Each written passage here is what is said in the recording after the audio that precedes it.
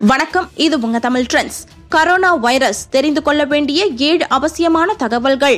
இன்னும் நீங்க அந்த தமிழ் ட்ரெண்ட் சேனல் சப்ஸ்கிரைப் பண்ண உடனே கீழே இருக்கிற ரெட் கலர் சப்ஸ்கிரைப் பண்ண பிரஸ் பண்ணுங்க. கூடவே உடனடி அப்டேட்டுகளுக்கு பெல் சிம்பலையும் பிரஸ் பண்ணுங்க.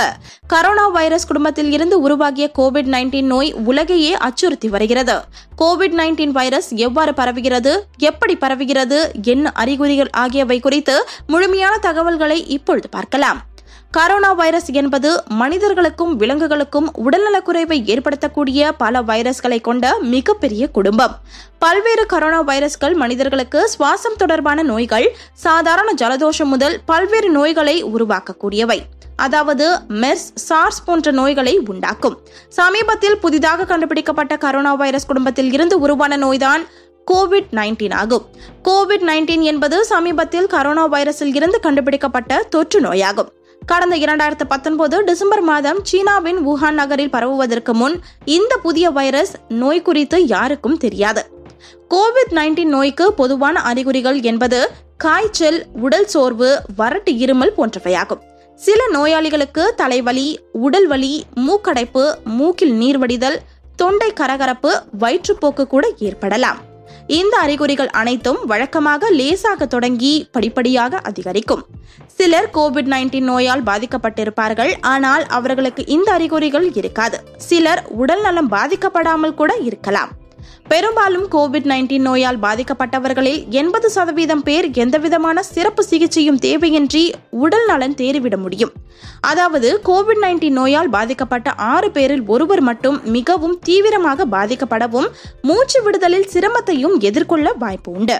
குறிப்பாக முதியோர் பரம்பரை நோய் உள்ளவர்கள் குறிப்பாக உயர் இரத்த அழுத்தம் உள்ளோர் இதய நோயாளிகள் நீரிழிவு நோயாளிகள் ஆகியோர் கோவிட் நைன்டீன் நோயால் பாதிக்கப்பட்டால் தீவிரமான உடல்நல கோளாறை எதிர்கொள்ள நேரிடலாம். ஆதலால் காய்ச்சல் இருமல் மூச்சு விடுதலில் சிரமம் இருந்தால் உடனடியாக மருத்துவரை அணுகி சிகிச்சை பெறுதல் அவசியம். கோவிட் நைன்டீன் நோய் ஒருவருக்கு இருந்தால் பாதிக்கப்பட்ட அந்த நபரிடம் இருந்து மற்றொருவருக்கு பரவும்.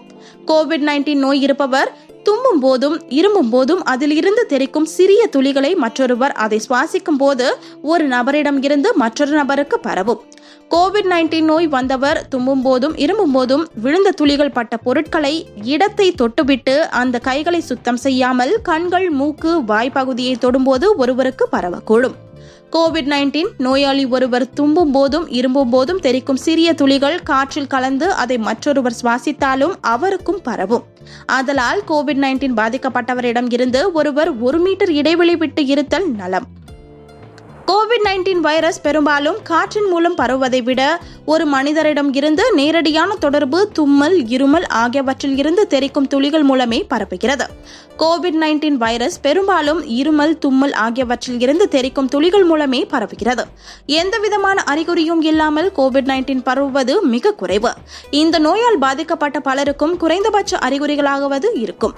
இது இந்த நோயின் தொடக்க நிலை அறிகுறிகளாகும். கோவிட் நைன்டீன் வைரஸ் பாதிக்கப்பட்டவர்களின் மலத்தில் மூலம் மற்றொருக்கு பரவுவது மிகவும் குறைவுதான். தொடக்க நிலை ஆய்வுகளில் கோவிட் நைன்டீன் பாதிக்கப்பட்டவர்களின் மலத்தின் மூலம் சிலருக்கு பரவி இருக்கிறது. ஆனால் இதன் மூலம் மட்டுமே பெரிதாக பரவுகிறது என்று கூற முடியாது. இது தொடர்பான ஆய்வுகள் நடந்து வருகின்றன.